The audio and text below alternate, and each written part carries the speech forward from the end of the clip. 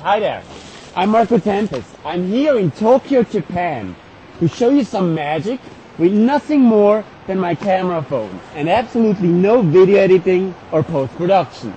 日本の皆さん、これは携帯のカメラを使った No CG, No cut の One Camera Magic です。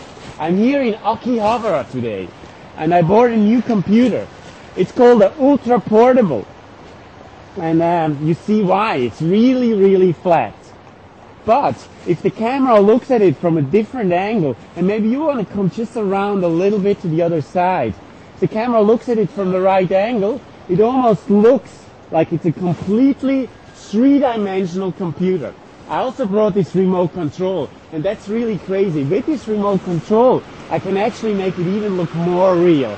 Here we go. Let's check this out. Let's bring the remote control down and uh, let's try to turn on the screen just like this. Look at this. It looks like it's almost 3D. But again, we have these ugly lines right here. So let's get rid of these lines, just like this. And look at this.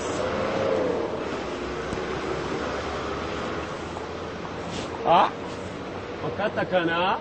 Did we fool you? Did we?